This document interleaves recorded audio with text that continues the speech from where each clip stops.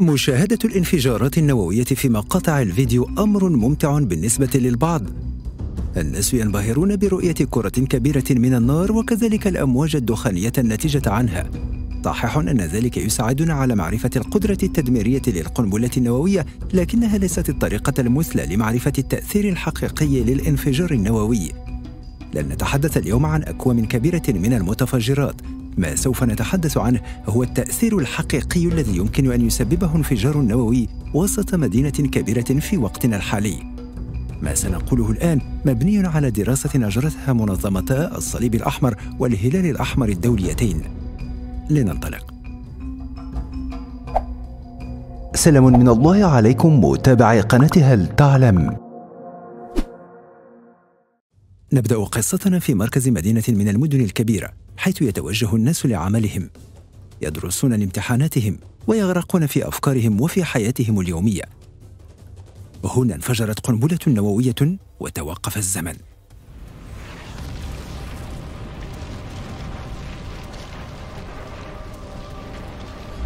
أول مرحلة من الانفجار حصلت في أقل من ثانية. في جزء من الثانية تظهر كرة من البلازما التي تفوق حرارتها حرارة الشمس وتتوسع على شكل كرة نارية بقطر يصل إلى كيلومترين. كل شيء كان وسط تلك الكرة قد تلاشى فورا. تخيل أنك سكبت الماء فوق مقلاة شديدة الحرارة. سيتبخر الماء فورا ولا يبقى منه شيء. ذلك ما حدث بعد انفجار القنبلة. تبخرت أغلب السيارات والبنايات والأشجار وحتى البشر. ستنتشر موجة هائلة من الضوء تغطي المدينة في لحظة فقط. لو كانت عيناك موجهة نحو الانفجار في تلك اللحظة فسوف يصيبك العمى لبضعة ساعات.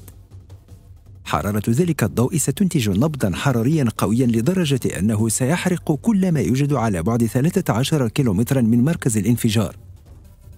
هذا يعني أن أي شيء قابل للاشتعال على نطاق 500 كيلومتر مربع سيحترق. ذلك يشمل البلاستيك، الخشب، الملابس، الشعر، الجلد، كل شيء أي أنك حتى إذا كنت بعيدا عن الانفجار فسوف تحترق في غضون لحظات. الآن سنذهب إلى المرحلة التالية. سيلاحظ الجميع أن أمرا غريبا يحدث، لكن الأوان قد فات. بعد الإشعاع يأتي دور الصدمة الموجية. حرارة وأشعة الكرة النارية ستخلقان فقاعة من الهواء الساخن والمضغوط حولها. والذي سيبدأ الآن بالتوسع بشكل انفجاري. ذلك سيكون بسرعة تفوق سرعة الصوت أي أن زوبعة قوية ستحدث وربما بعض الأعاصير. البنية التحتية لن تقوى على مجاراة تلك الصدمة الموجية. أغلب البنايات الكبيرة ضمن نطاق كيلومتر من الكرة النارية ستتدمر كليا. فقط البنايات المعززة بالفولاذ هي التي ستقاوم الضغط جزئيا. أما في الحدائق المجاورة فإن الأشجار التي تفحمت بسبب الحرارة ستتكسر كما لو أنها أعواد تنظيف الأسنان إذا كنت بالخارج فسوف تحملك الرياح مثلما تحمل ذرات الغبار. قوة الصدمة الموجية تضعف مع توسعها، إلا أنها ستدمر حوالي 175 كيلومترا مربعا من المنازل كما لو أنها مصنوعة من الأوراق. آلاف الناس سيجدون أنفسهم محاصرين تحت الأنقاض بدون أي فرصة لإبداء أي رد فعل. سوف تنفجر محطات البنزين وتنتشر الحرائق في المدينة. ثم تظهر سحابة دخانية بشكل حبة الفطر. السحابة مكونة من مخلفات الكرة النارية. سوف تصعد بضعة كيلومترات نحو السماء وتخلق ظلا كبيرا يغطي المدينة. تلك السحابة الدخانية ستجذب الهواء من المناطق المجاورة مما يعني هبوب رياح قوية قادرة على تدمير المزيد من المنازل. لكنها ستساعد أيضا في جلب بعض الأكسجين للمنطقة. ما يقع بعد ذلك يعتمد على طبيعة المدينة. إذا كان هناك الكثير من محطات الوقود فسوف تتحول النار إلى عواصف نارية تحرق الحطام وتحرق الأشخاص المحاصرين تحته. أما الناجون فسوف يحاولون الهروب من الكارثة. على بعد 21 كيلومترا من الانفجار سيكون هناك أناس مثلكم يلتقطون صورا للسحابة من نوافذ منازلهم غير مدركين بأن الصدمة الموجية لا زالت قادمة نحوهم لتحطم نوافذهم وتحول منازلهم إلى ما يشبه العاصفة الزجاجية المرحلة الثالثة ستبدأ خلال الساعات والأيام القادمة. نحن البشر متعودون على أن النجدة ستأتي بعد كل كارثة، لكن هذه المرة مختلفة. تبلغ قوة انفجار نووي واحد قوة كل الكوارث الطبيعية مجتمعة. هناك ملايين الناس المصابين بإصابات خطيرة جروح كسور وحتى الحروق الشديدة. بسبب هذه الإصابات سيلقى الآلاف حتفهم في غضون ساعات.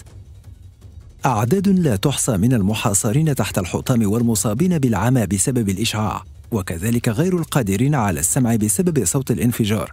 إضافة إلى العاجزين عن النهوض بسبب الأنقاض المتراكمة فوقهم.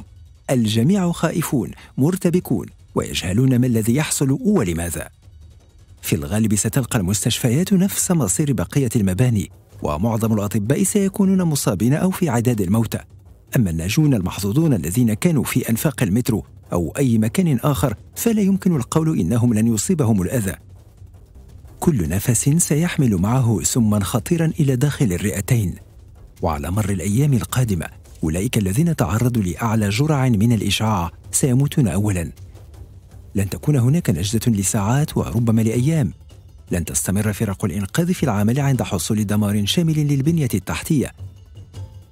جسور منهارة سكك حديدية معوجة وطرق مليئة بحطام البنايات لا وجود للماء ولا للكهرباء. لا توجد وسيلة اتصال ولا متاجر للحصول على مستلزمات الحياة. فرق الإنقاذ من المدن المجاورة ستجد صعوبات في تقديم المساعدة وحتى لو استطاعوا فعل ذلك فإن التلوث الإشعاعي سيجعل الاقتراب من المدينة في غاية الخطورة. سيواجه كل شخص هذه الكارثة لوحده. يوما بعد يوم سيبدأ الناس في النهوض من تحت الحطام وهم مسممون بالإشعاع.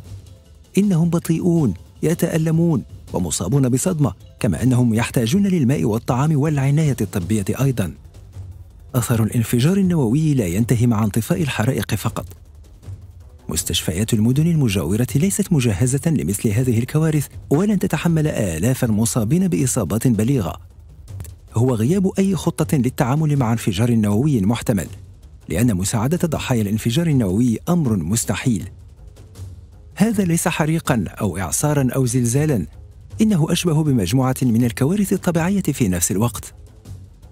لا توجد أي دولة على وجه الأرض يمكنها التعامل مع هذا الموقف.